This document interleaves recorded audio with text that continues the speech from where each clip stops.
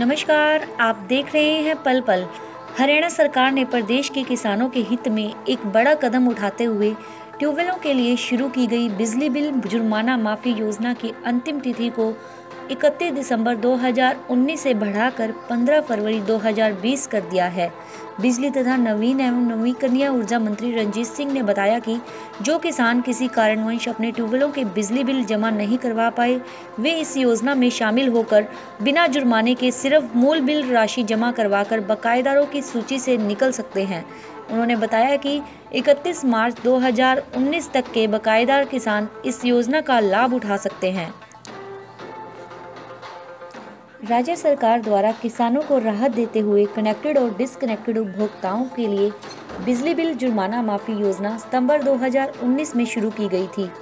उन्होंने बताया कि सरकार द्वारा कृषि क्षेत्र को प्रोत्साहन देते हुए किसानों को सब्सिडीडाइज दरों पर बिजली उपलब्ध करवाई जाती है।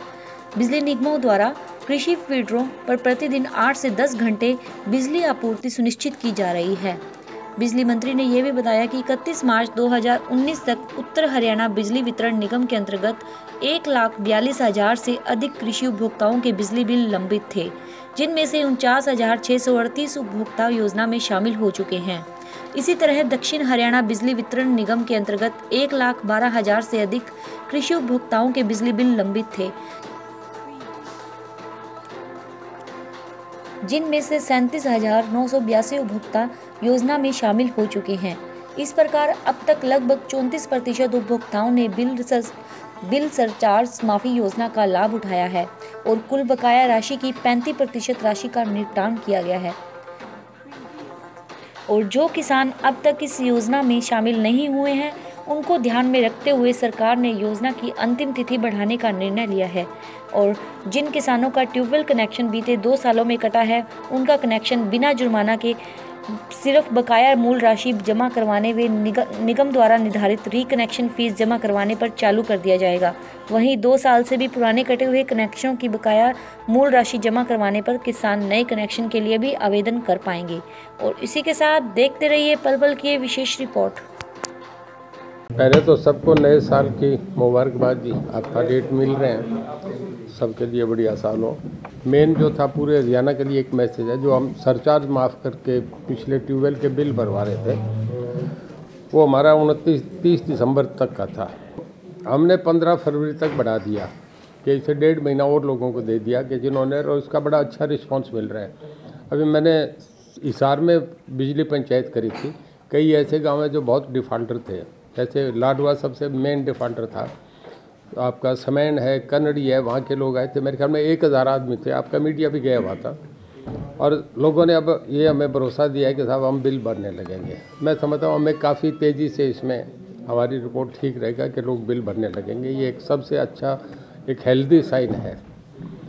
नंबर दो, इस ये मामला सब्जेक्ट तो कवर हो गया।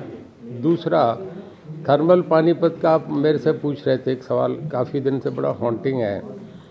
उसमें मैं गया था जी।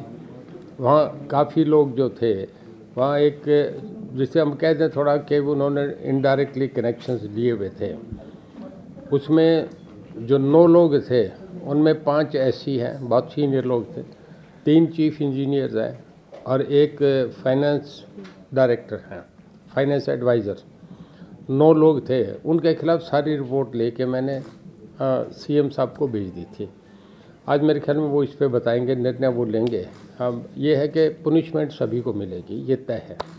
इसका एक मैसेज है। जब आप बड़े ऑफिसर्स को चेक करेंगे तो नीचे जो है, सभी डिस्ट्रिक्ट लेवल पे, चाहे वो किसी डिपार्टमेंट में कौन ये नहीं है कि खाली पावर से कंसर्न हो। दूसरे ऑफिसर्स हैं, वो भी ये देखेंगे कि ये कभी भी हो सकता है। तो मैं समझता हूँ लाइन लॉस बहुत तेज़ी से एकदम रुकेगा हमारा। सब जो इधर उधर के बिजली के बिल चल रहे थे, वो सब बंद हो जाएँगे। हर सेंसिबल आदमी ये समझेगा कि बदनामी होगी फाइन लगेगा, कोई भी अब ये नहीं करेगा। इसका आम अच्छा दूसरे किसानों पे भी असर पड़ रहा अब तक ये था ना कि किसानों के बिजली के बिल पकड़े। नहीं, हमने ब्यूरोक्रेट्स भी हैं सीनियर ऑफिसर हैं, उनको भी कोई भी स्पेयर इवन मैं भी करूँगा तो मैं भी पकड़ा जाऊँगा।